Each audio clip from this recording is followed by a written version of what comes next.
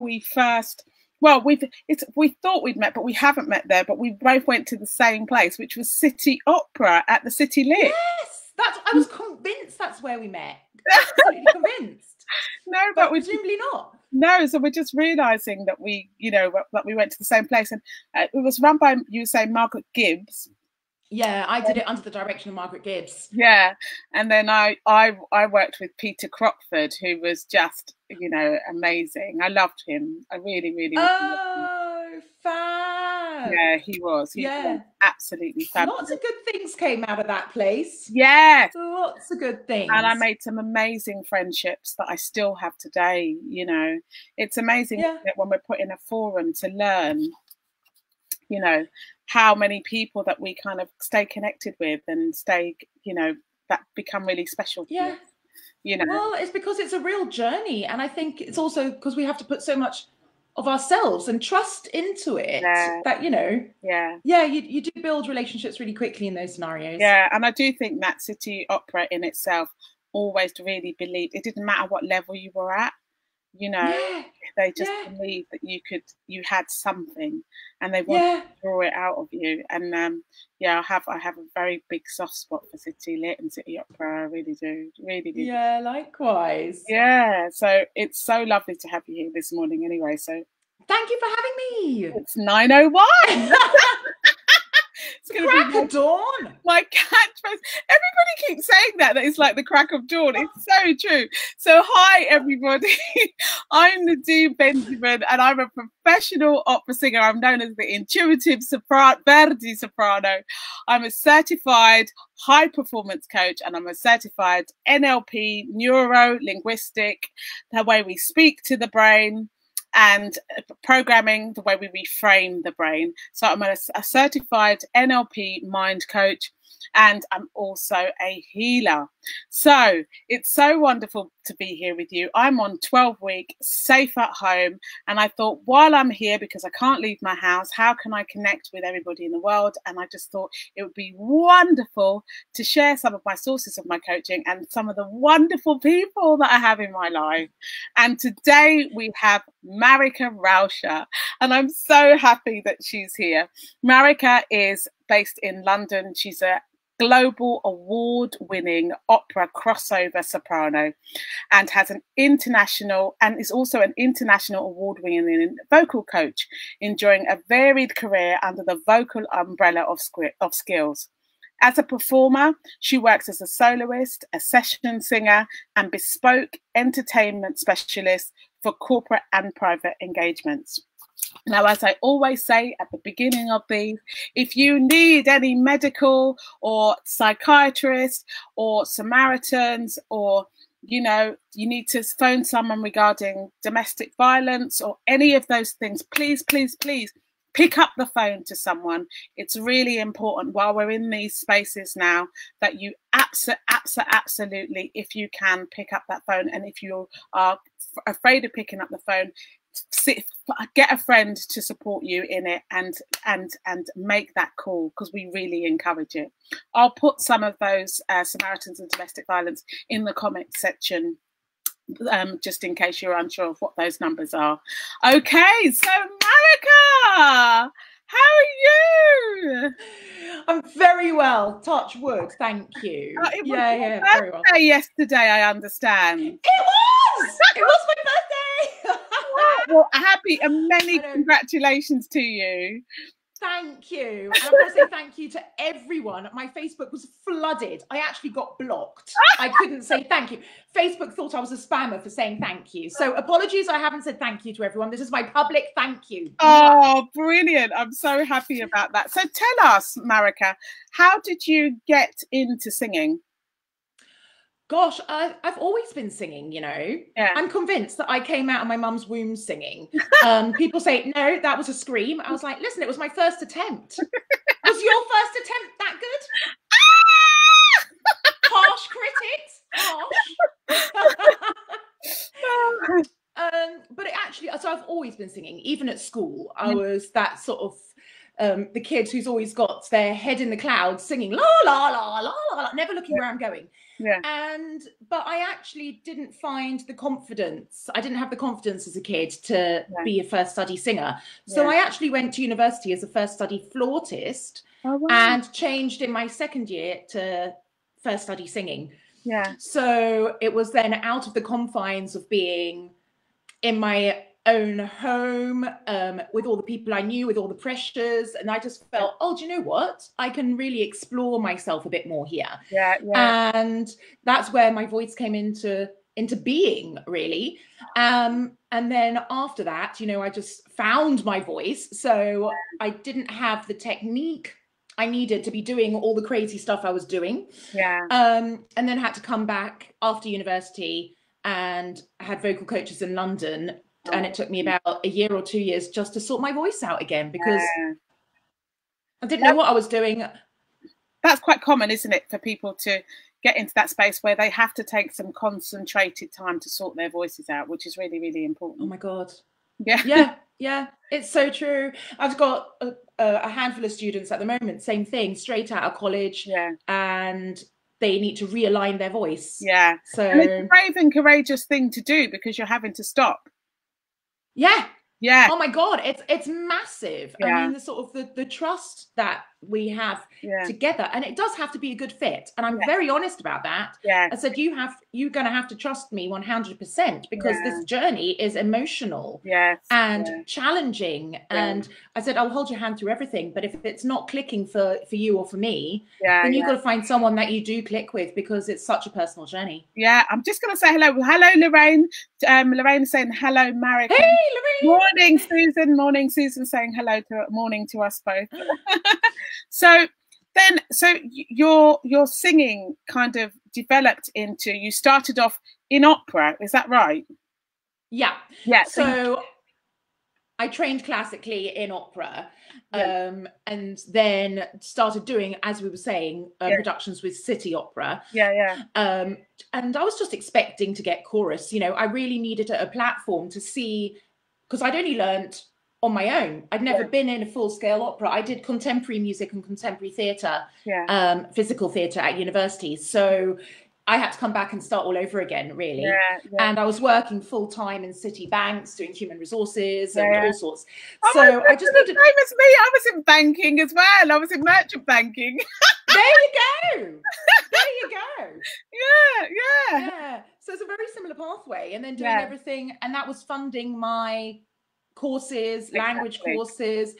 Um, Yeah. And I needed those platforms to try my feet, uh, you know, and just get my feet wet with it and see is this something I'd want to invest in? Is this something I want to pursue? Because Yeah. otherwise, it is financially crippling and absolutely. if you're not one if you're not 100% sure that that's the road to go down you're going to find yourself broke and unhappy so Yeah. I concur. so, but then what what's really interesting about you and what I love, you know, and we share this in that we we take lots of risks. I've no I've noticed that in you as a person and an artist, and I'm the same. So we jump into the fire and say, yes, we're going to do this. And what you did was you then experimented with different other ways of singing, like with jazz and pop, and you Yeah. you crossed over, didn't you? I did yeah so i was the in-house opera singer at harrods Yeah, yeah. and i then had a job opportunity to go over to the middle east for six Yeah. months and Yeah. sing on a seven star man-made island and god it was hardcore they wanted you to sing six hours a day six days a week you know it was just like i'm not a machine Yeah, but it was oh, it was through shifts so you know but it was over there and there really wasn't an audience because it was like street performance. Yeah, yeah. and so i went why am i killing myself singing opera in the desert heat if there's no audience? You know? It- so uh, i just was like took it as a performance you know i was like i'm going to sing all the stuff i want to sing in the shower out, here and just test the water out because there's no one here listening. Yeah, yeah, and that's when and because i was with a troupe of 20 artists Yeah, yeah. um i hadn't had that platform to work with different styles and different instruments and yeah, so we just had loads of jam sessions and yeah, i was like oh my gosh you know? I haven't jammed or improvised in years. It was I know. I was absolutely petrified because I was like, oh God, what if I sound crap? They'll all realize I'm a crap musician. And, you know, and they were like, no, this is meant to be fun. I was just like, yeah. it's giving me anxiety. uh, I so love what you're saying about, you know, because recently I've just been coming back to myself because I compose. And so I've just come back to making new tracks as well. Like I'm like going awesome. back to a little bit of drum and bass. So I really, I really understand that it is about stepping into that space of how do I create again as well. Yeah. Yeah. Totally. I mean, funny you should say that because I've actually got a friend of mine. She's a drummer and runs a, a drum and bass night. Yeah. And so uh, I've gone in and done opera over drum and bass. Yes. Why not? exactly. Exactly. So it's then, now, if it goes wrong, it goes wrong. So what?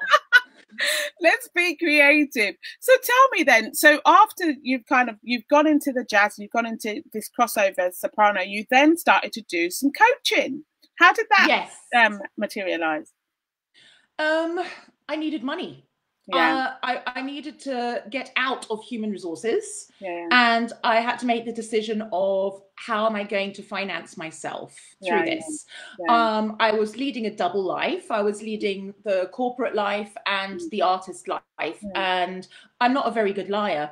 I, I just don't have a I just don't have the capacity or the brain to keep up with my own lies. So, you know, having to tell one client, oh, I can't pick up the phone because I'm in an audition instead of a meeting. And I was just like, they were like, how's the audition go? I went, what audition? You know, it was exhausting just to try and keep up the, the persona. Yeah. Um, so I had to jump ship and I had to delve in 100% mm. and say, if you give it 100%, you will get 100% out of it. Absolutely.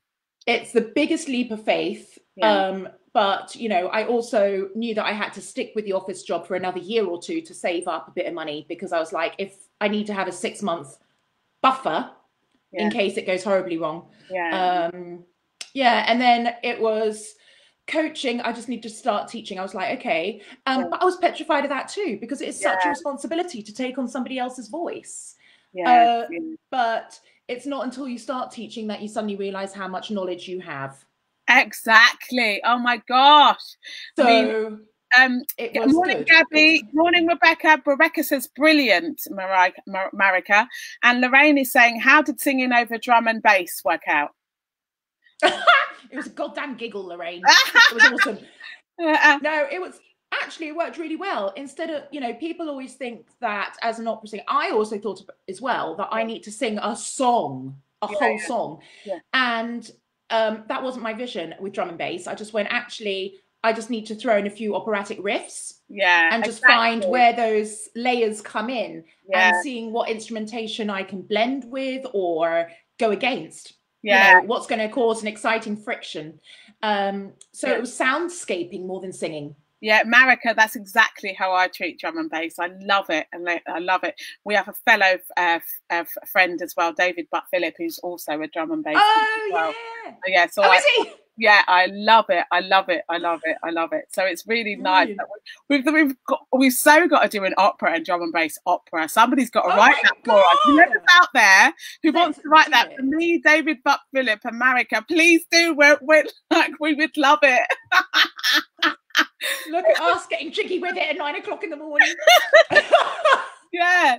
So it's really great that you that you talk about you know taking risk and just saying you know the honesty that you were you know felt a little bit frightened and unsure about you know taking that responsibility mm. because there's going to be a lot of singers now that or a lot of artists now that are having to teach their next set of where they're going online and like yeah. you i've come out of the corporate world i went into the i've come i went into the artistic world and now i'm going back into the corporate world as well you know because i'm a fully mm. qualified coach and i have to get back online and doing that i thought i was going to be doing that like 10 years from now you know luckily i've always kept up my qualifications because yeah. like you i'm always like practice makes permanent you know we've got to keep yeah. you know doing our skills Absolutely. But, you know, there's going to be a lots of people now that are going, oh my gosh, how do I get online? How do I do this? And I was talking to you, and you were talking about that you've been working with choirs and all around singing yeah. for well-being. And so, can yes. you talk a little bit about that for me? Yeah. So the choirs that I've been uh, working with are community choirs. So Yeah. they're not auditioned choirs. They're welcome for all ages from 18 up. Yeah. Um, and it was the I was very lucky that I was getting funding for that, and there was a training budget. Yeah. So there was a training budget within that uh, Yeah. funding bracket, Yeah. and um, I was lucky enough that they said, "Well, you can ascertain what training you think you need." Rather than us t- t- telling you what you need, Yeah. um, because it was a bigger organization and there were different choir leaders, and we all had different strengths and different weaknesses, you know. Yeah. And so, Or different was future finding- strengths, I always say. Yeah, that I like that. That's not I like mine. That's like Derry Llewellyn is somebody that um does the business page. I know, Derry. Do you? It- Public that- speaking. that's his line. Future strength. I love it. And I once I got that, I never forgot it. And I've never said weakness after that. Love it. Love it. Exactly. Erase the negative connotation. yeah, exactly. Um, and where were we? Oh, yes, community choirs. Yeah.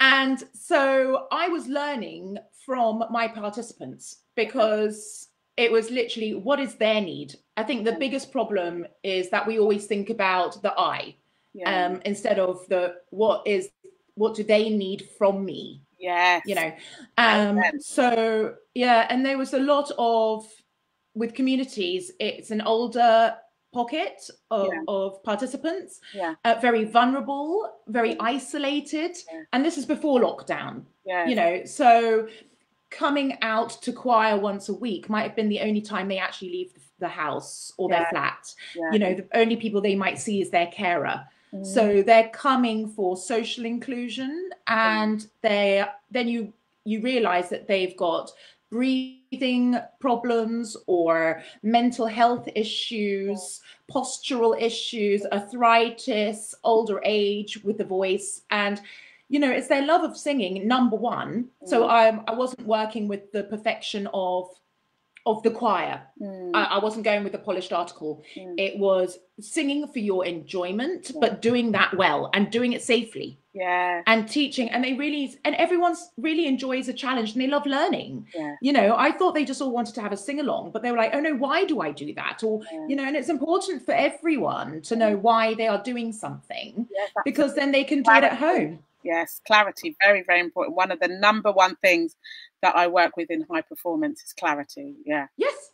And as a coach and as a Yeah. teacher, yeah, is if if anybody wanted advice out there of you know if you're saying well how do i transition into online teaching or coaching Yeah. it's you know what your skill set is but to call yourself the coach or the teacher is having the clarity of being able to explain that to multiple different people with learn different learning yeah, abilities. Yeah. you know because we all understand things differently and it's tabbing into how are you going to connect with that. Yes, yeah, so some people work uh, on a scientific level and they want to have all the medical stuff about the voice.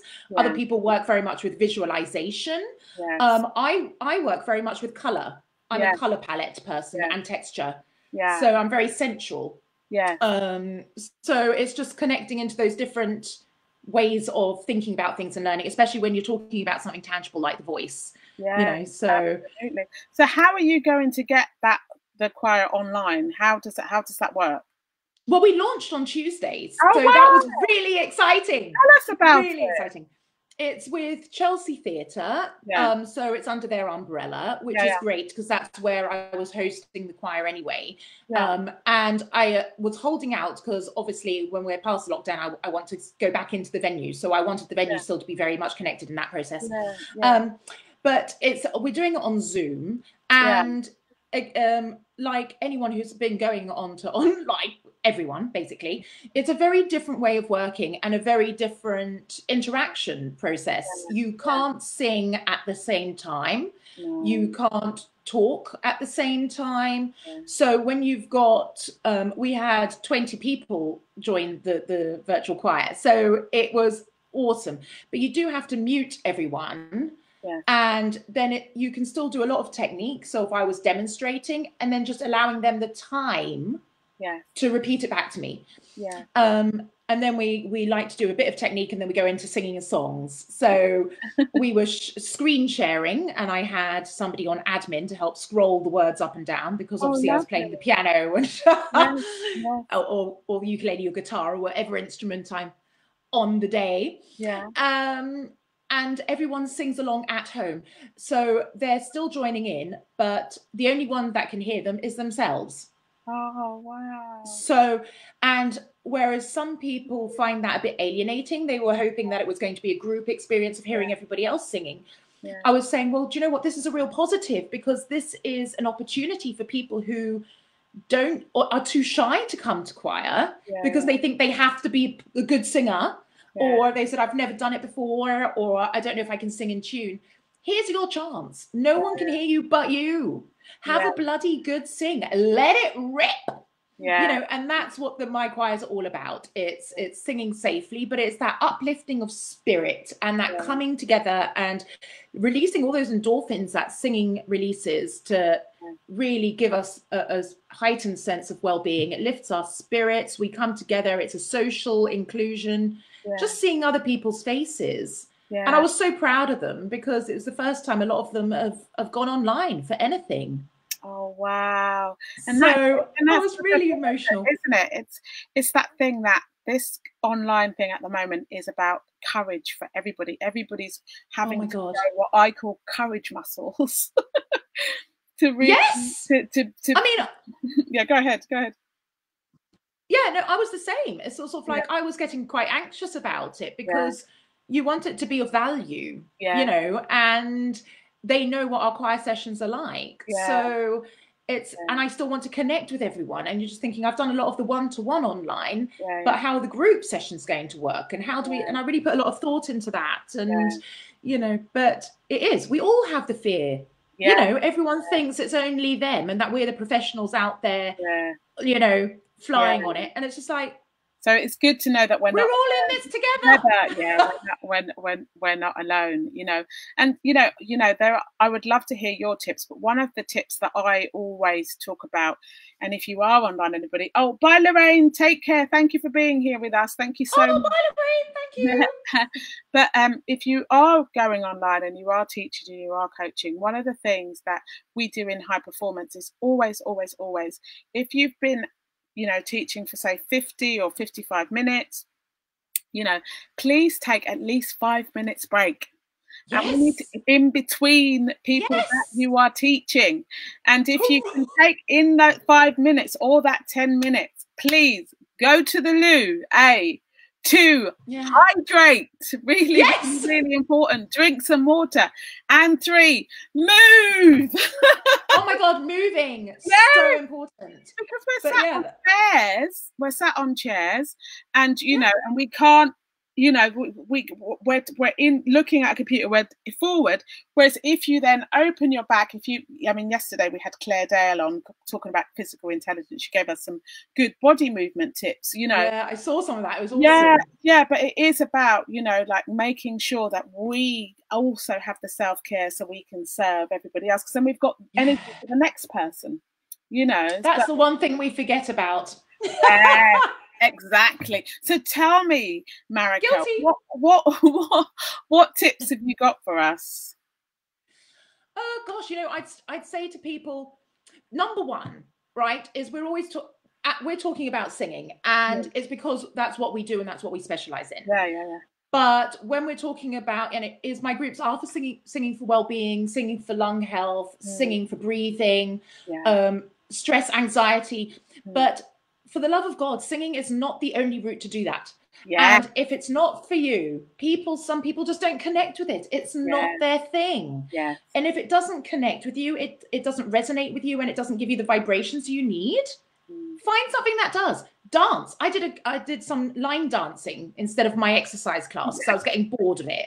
I just was like, I need to mix this up. And I just went on a search and found some country line dancing. Got out my hat, off I went. And it was, you know, I just went, I forgot how much fun this is. I was in Yeah. hysterics in my flat. My neighbors must have been like, what is wrong with her? um, but yeah, I had such a laugh. Oh. And so it's find something that brings you joy. Yeah. right? So, I mean, if that's yoga, if that's dance, and if it's a book club, Yeah. I mean, I couldn't. For me, that would bore, bore me, bore my brain. I'm not into it. But if it's your thing, yeah. do it. And and Yeah. everyone is is you. You'll find these little groups are sort of springing up now, Yeah. and different creative ideas. And because we're in this situation, it's donation based, or it doesn't cost a lot of money. yeah. And so And a you lot can of the just stuff dip is your free. toe in. A lot of the stuff is A lot. yeah. A lot of the stuff. A free. lot. And I love what you're saying Um, there because you know we have to show up as ourselves. You know, Yeah. we can't. so You important. know, especially when we're spending so much time with ourselves, we really, really, really have to show up as ourselves. So cater Yeah. to your needs and your family's needs, your immediate uh, sense of self. Because when you do that and you're filled up like that, you have so much more to give everybody else and to take time to to a thought for somebody else or pick up the phone to somebody else. Absolutely. Absolutely. Yeah. So my first tip is is find something that works for you. Yeah. Um, we're talking about singing because it, it's tr- it's trialed, it's tested, Yeah. it's out there that singing does all of this for well-being. Um, but it's not the only route. So find something that you click with, yes. Any more? and then just you know what? Yeah, and don't give in to fear. Because that's one thing I had to tell myself. I was getting the fear of online. we all had to learn this Yeah. new skill and become, you know, some kind of wizard at it with the Yeah. pressure to delivering the high standard that we expect of ourselves yeah. on an online platform. Yes. And it's just sort of so the fear is we all have the fear, but I think this is a fantastic opportunity Yeah. because you know what? You can black out your screen. You don't have to have the video function Yeah. on. Just get in there, get involved, and give it a go. Yes. Exactly. What's the worst that can happen? Exactly. If you if you drop out, say your internet disconnected, yeah. what have you lost? what have you lost? I really, oh, Marika, it's so lovely. Marika, it's so lovely to to um to have your your energy because you've got a wonderful, wonderful, wonderful energy, and you know, likewise, Oh, you know. I had the fear around coaching, you know, coaching online. I'm a great coach, but then, you know, like having to do the thing of setting it all up and, you know, Yeah. how do you get people to come forward? How do you make sure that it's, you know, that everything working for them and they're safe and you're safe and da da da da. I know. It Rearranging the living room so that, you know, because I can't move the light fixture. So I've got to move to the light, you know. It looks like I'm in this wonderful clean office. You have no idea of the mess over there. There's so much decluttering going on at the moment I for everybody. I, I was speaking to somebody yesterday, and he was saying to me, you know, he felt sorry for the bin man because he had enough. He had he put out enough bins for one whole collection. he didn't Oh my God. house to contribute. But Right? it's, it is that time. It's that time for like rearranging and organising and Yeah. So I totally I'm very big about being authentic and bringing your Yeah. authentic self to something because for so many years I was trying to be who I thought I should be yeah. um, and what the world wanted to see from me. And I just was like, no, I'm going to just, as you were saying, show up as yourself. Yeah. and it's hard and it's scary because Yeah. you want to always offer perfection, yeah. you know, and, and especially when we've trained as opera singers, it's all about the minutiae, the, yeah. the, the tiny perfection. yeah. Um, and, you know, singing for well-being is throw all of that out the window. Yeah. Just don't get hung up on perfection. Don't let the fear stop you. Just Yeah. bloody give it a go. Yeah, exactly. And I'm all, all about living and walking your talk. So the thing is, is stop looking the part and start being the part. Totally. Yeah, exactly. Totally. Yeah, 'cause And you're I've got- I think you're not following through with what you do. And I also want to pick up on what you said about grabbing hold of that fear and not being afraid of the fear. And you know, somebody reminded me yesterday, you know, that you know that when we uh when we stop grabbing hold of the fear, the same uh, molecular and uh, chemical reactions that we have for fear are the same that we have for excitement. So let's know, Oh. instead of we're in fear, let's say I'm getting excited about this. Yes, I love that. Yes, Well, it is because if you've, you've already got that energy, you might as well use it for the greater good. You know, exactly, exactly. and it's a bit I you know it's a bit like skydiving I guess I've never done it no. but it's it's like I'm sure that you know once you you've got over the initial fear and you jump it's yeah. the elation yeah. the thrill uh, the excitement and then you're so proud of yourself just that you tried oh. not that you oh. failed yeah. that you tried yeah well yeah try is a whole other thing that I will talk about another day. But I'm... i know, right? There's a whole new podcast on that. but um, does anybody have any questions that they would like to ask Marika? If you do, please put them in the chat because I'm just going to ask Marika her last couple of questions now. Marika, I just wanted to to say, is there any lasting things that you wanted to, um, you know, to leave with us, or any lasting message that you wanted to leave with us? I, I think just to be kind to yourself. Yeah. I think I think it's a, the big thing at the moment. Um, I can only speak from my own personal opinion, uh, opinions and my own experiences because I I live on my own. So yeah. you know, it's things that I've been drawing on. Yeah, um, is that you know you always feel the pressure that you should be doing something, or um, I, I, should use this time wisely and I've got you know a bit more time in my hands and. I should get this online and I, the fear of missing out. I still have the fear of missing out. It's like, oh, what am I missing out? You know? I don't have that. So some days it's like I'm not going to answer your email. It's going to wait till tomorrow. Yeah, and sometimes it does. It has to.